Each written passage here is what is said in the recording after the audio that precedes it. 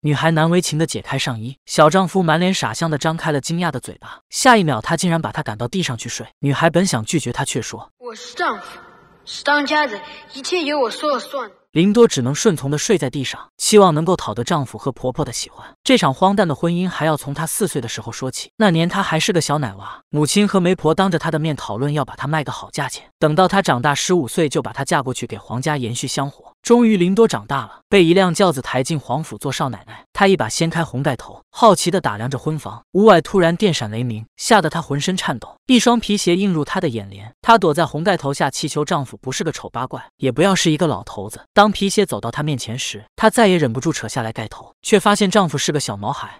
我一定是求菩萨求过了头。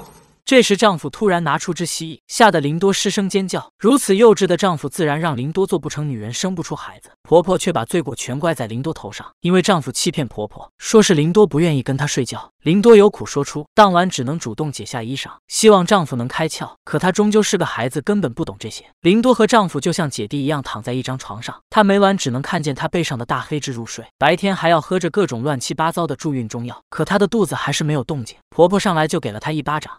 我儿子说，他给你栽下的种子有一大箩筐，够你给我生一万个孙子了。还没等林多反驳，婆婆的手指又戳在了她的脑门上，厉声斥责她是只不会下蛋的母鸡，勒令她从此以后不准出门，只能在床上躺着，直到给她生下一个孙子。婆婆还吩咐下人关进门窗，不准给她逃出门的机会。被关起来的林多突然听到外面传来动静，发现家里的女佣怀了帮工的孩子，可帮工不承认孩子是他的。于是林多脑海中有了一个绝妙的主意，他把自己弄成一个神经失常的人，经常发出怪叫，引起婆婆和丈夫的注意，然后找机会冲进祠堂，说老祖宗给。给他托梦告诉他要尽快离开皇家，不然会给他们带来大祸。婆婆当然不信，说她发疯了。林多为了佐证自己说的话，她编出了三个不祥的征兆。第一个就是丈夫后背的大黑痣，它会慢慢腐蚀掉丈夫身上的肉。第二个是她的牙齿会全部掉光，如今已经掉了一个了。第三个是家里的女佣，老祖宗已经把皇家的子孙存放在她的肚子里了。女佣本就被臭男人抛弃，自然不会戳破林多的谎言。古代人最是信命，林多这一套说辞下来，婆婆彻底相信了她说的话。就这样一箭三雕。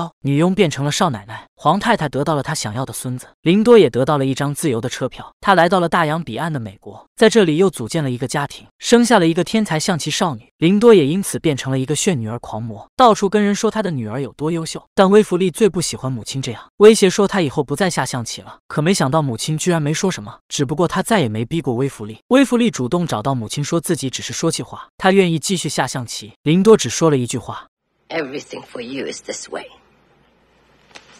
Not so easy anymore. 这句话就像一句魔咒。威弗利明显感觉到自己的象棋天赋正在消失，他再也没法预判对方的棋术，连自保都变得越发困难。从那以后，威弗利事事都想讨母亲欢心，甚至嫁给了一个认为母亲会喜欢的华裔。可母亲却在他婚礼的前一天突然说自己不想去参加了。威弗利终于爆发了，他不明白母亲为什么总是对他不满意，却不知林多只是以为女儿在嫌弃他，嫌弃他对他的生活指手画脚。母女俩多年的误会终于解开，他们终于找到了爱对方的方式。而像他们这样的母女还有三对。二十二岁的于飞鸿美的不可方物，男人为了讨她欢心，徒手劈开一个西瓜，掏出瓜瓤，轻佻的伸出舌头去舔食，这样油腻的举动成功吸引了他的注意。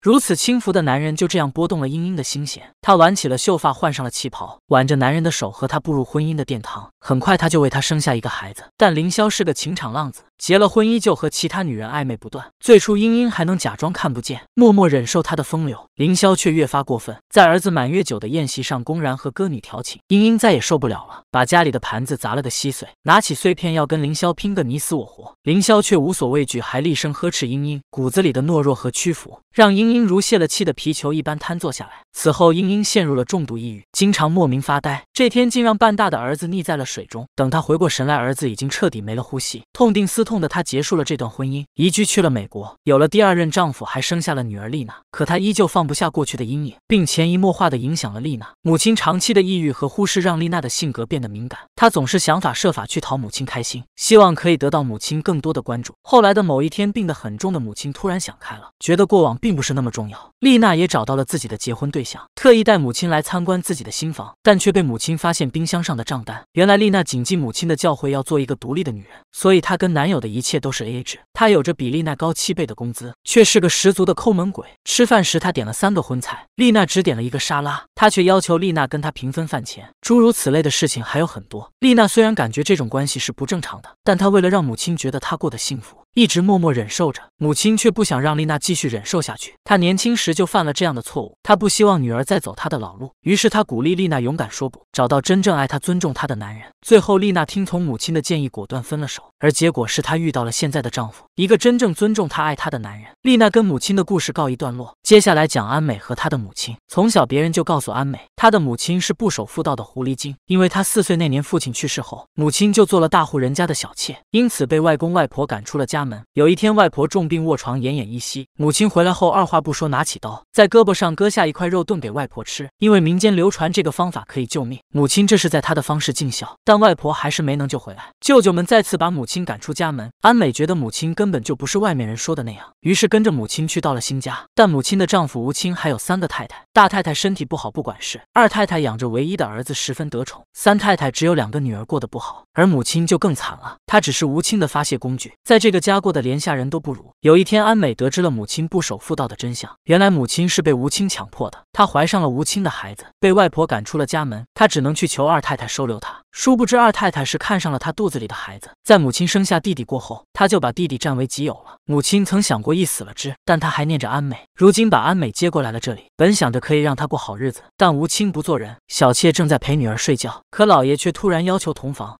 老爷。这可不行，我女儿在呢。让她走，要不就让她看着。